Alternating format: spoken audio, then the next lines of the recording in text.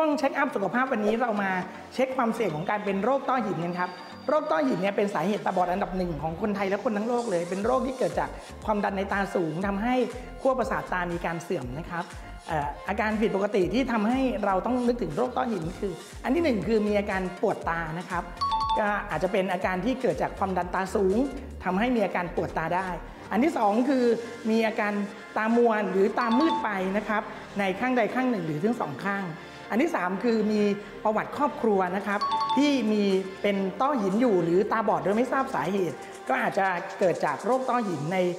บรรพบุรุษของเรานะครับกับอันทีสี่4 คือเรามีความเสี่ยงของการเป็นโรคต้อหิน เช่น การใช้ยาบางชนิด เช่น การหยอดยาหรือรับประทานยาพวก สเตียรอยจะทำให้เพิ่มความเสี่ยงของการเป็นโรคต้อหิน อันที่ 5 ก็คือในกรณีที่เรามีโรคประจำตัวบางอย่าง ก็อาจจะทำให้เราเสี่ยงต่อการเป็นโรคต้อหินเพิ่มขึ้น เช่น คนที่เป็นโรคเบาหวานนะครับหรือคนที่รับประทานยาบางชนิดนะครับ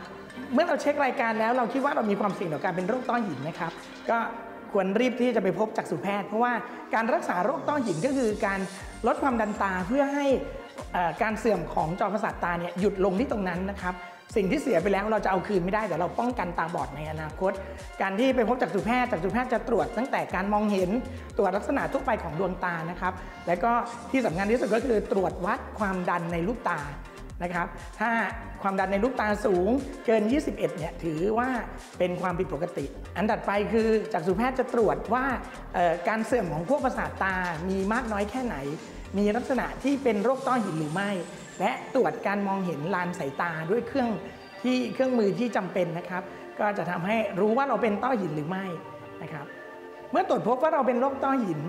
จากสูแพทย์จะให้การรักษานะครับ การรักษาโรคต้อหินเนี่ยสามารถทำได้ 3 วิธีครับ วิธีแรกเลยก็คือการใช้ยาหยอดลดความดันตานะครับ ซึ่งเป็นวิธีมาตรฐานที่ใช้อยู่ในปัจจุบัน แล้วก็เทคโนโลยีค่อนข้างมีความก้าวหน้า ยามีประสิทธิภาพดีนะครับ ในการลดความดันตาจนไม่เกิดอันตรายกับดวงตา นะครับวิธีที่ 2 ก็คือการใช้เลเซอร์ จะเหมาะสำหรับผู้ที่ป่วยที่เป็นต้อหินในบางชนิด ที่จักษุแพทย์พิจารณาแล้วคิดว่าการใช้เลเซอร์จะช่วยควบคุมความดันตาได้ดีขึ้นนะครับแล้วก็วิธีสุดท้ายก็คือการผ่าตัด ดวงตานะครับ ก็เก็บไว้ใช้ในกรณีที่ไม่สามารถใช้หยอดยาหยอดหรือการเลเซอร์ แล้วมีประสิทธิภาพได้ ก็อาจจะจำเป็นต้องได้รับการผ่าตัดดวงตานะครับ ซึ่งวิธีการรักษาพวกนี้เนี่ยขึ้นอยู่กับดุลพินิจของจักษุแพทย์ที่ตรวจตาของเราว่าเราควรได้รับการรักษาอย่างไร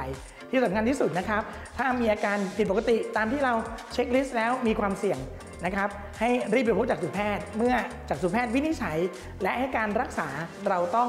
ติดตามการรักษาและก็ปฏิบัติตัวตามคำแนะนำอย่างเคร่งครัด เราก็จะปลอดภัยและก็ไม่ตาบอดจากโรคต้อหินครับ